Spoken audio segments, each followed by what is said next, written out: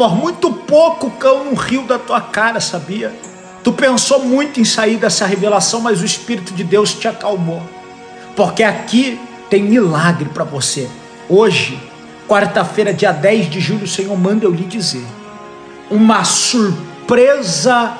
Eu, eu via uma bênção financeira, uma surpresa financeira. Quando você entrou nessa revelação, o Senhor me mostrava uma providência, uma providência muito grande, algo que iria alegrar o teu coração de uma maneira plena. E o Senhor me disse, profeta, diga, avise a minha filha, o meu servo, que eu sou Deus da providência, eu sou Deus da novidade. Alamanda rabadagarrassúria.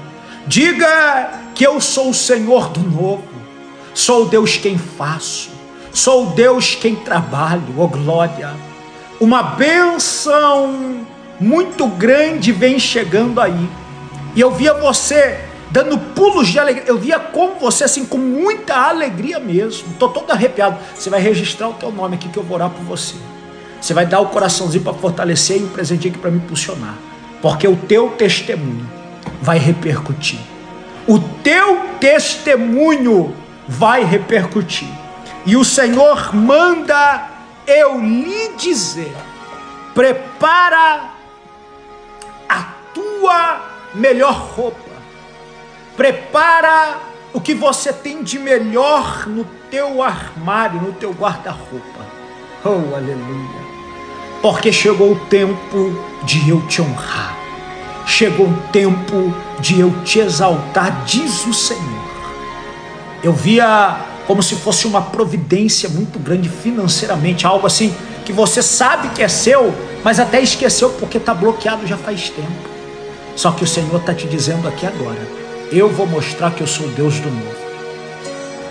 Eu vou mostrar que eu sou o Senhor da novidade.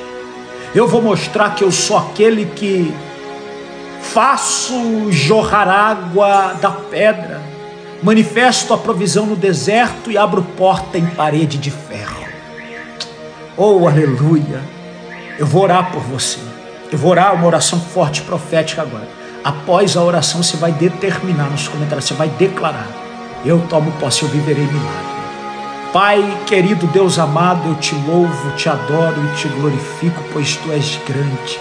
O teu amor dura para sempre que a tua bênção, a tua proteção, a tua providência e provisão seja direcionada para a vida dessa ovelha, é o que eu te peço, em nome de Jesus.